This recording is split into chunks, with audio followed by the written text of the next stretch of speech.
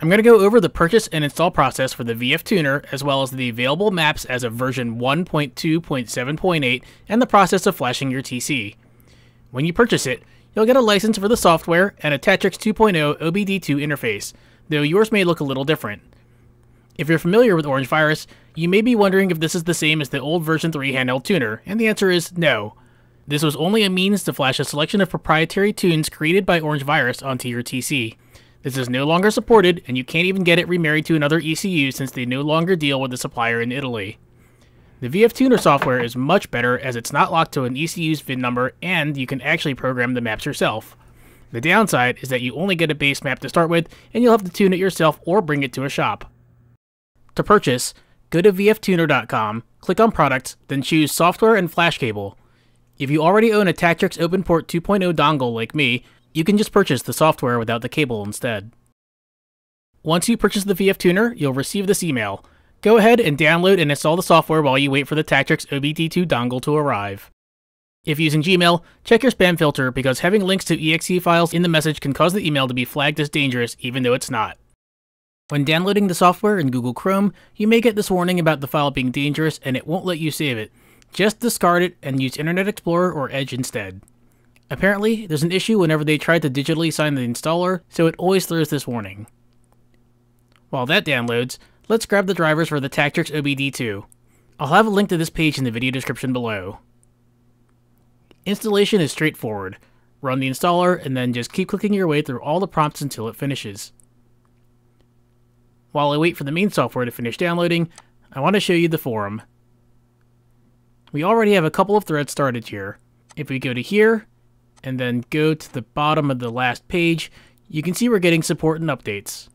Showing interest for the Scion TC, including being active on the forum, can only help us out more. Also, I find it's a lot easier and faster to get answers to questions on the forums. Okay, the download is done. Again, we get a warning, but we have the option to keep the file. You still have to go through a couple of hoops to save it. You can click on the file name here to run it, or click on Show in Folder and then run it from there.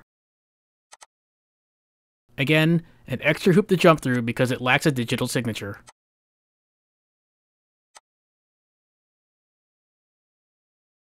Okay, before I actually start the install, I did just download the file minutes ago and scanned it with ESET to confirm it was safe. You can see all the various ECU bin files being installed.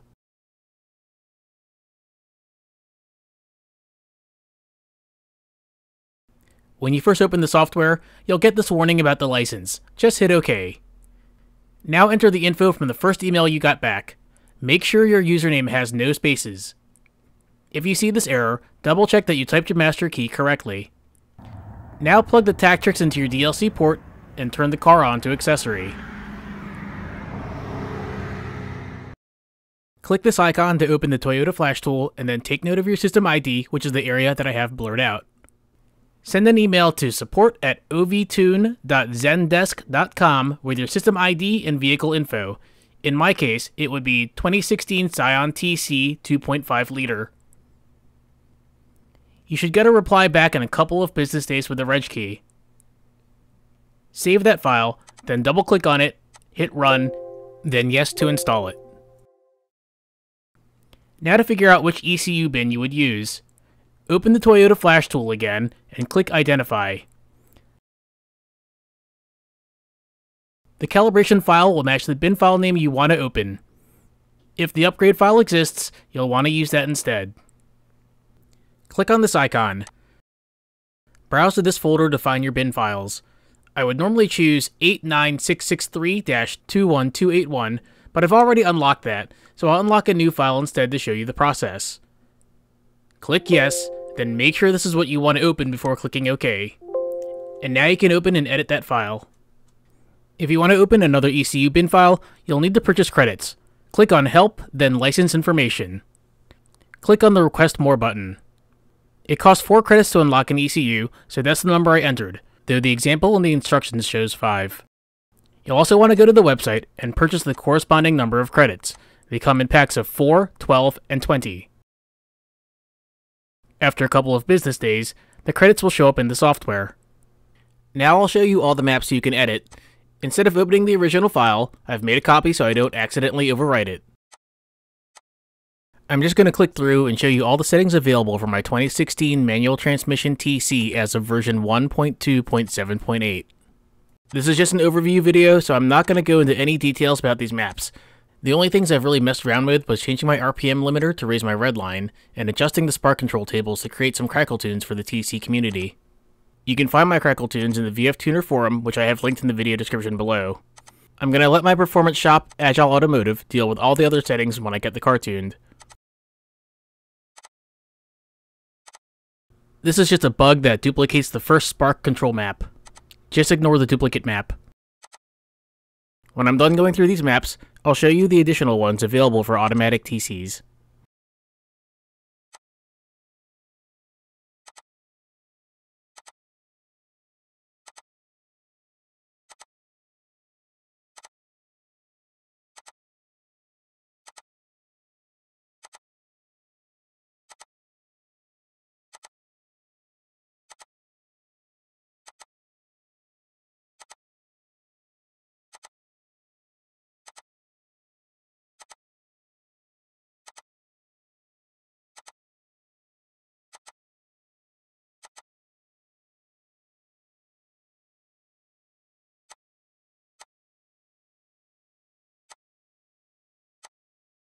Now to open our newly unlocked bin.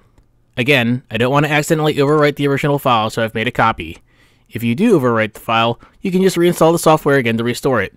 Be sure to always export your settings to a new file, because if you reinstall the software, it may overwrite your settings on those original files.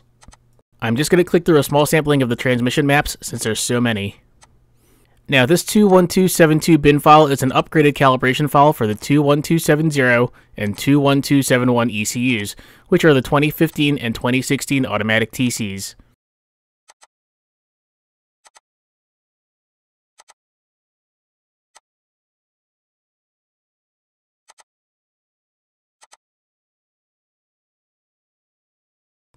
Now to show you how to flash your tune onto your ECU. Plug the Tactrix into the DLC port under the dash. Now I have an OBD2 shift light on a DLC splitter, and I usually open the kick panel to access the original DLC, but I've already run a few tests with a spare ECU and confirmed no issues using the VF Tuner software and Tactrix through a splitter shared with my shift light. I have the USB plugged into my laptop, so I'm going to turn the car onto accessory, then make sure my blower is off, and start flashing. Click the icon to open the Toyota Flash tool, and then click the Flash It button. I don't want to kill my cat, so I'm going to use my mild crackle tune. Make sure you don't have any drain on the electrical system, then hit OK.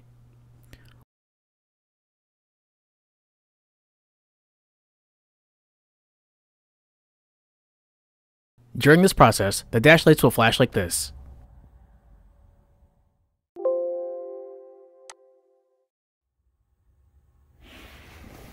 Now to turn the car off, and then start her up.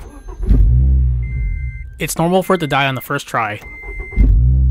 Just start her up again and you'll be fine. Now to let it sit for 10 minutes so it can relearn idle.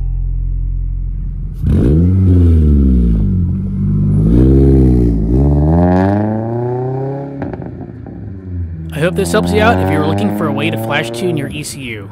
If you haven't hit subscribe to my channel yet, please do so now. And as always, thank you for watching.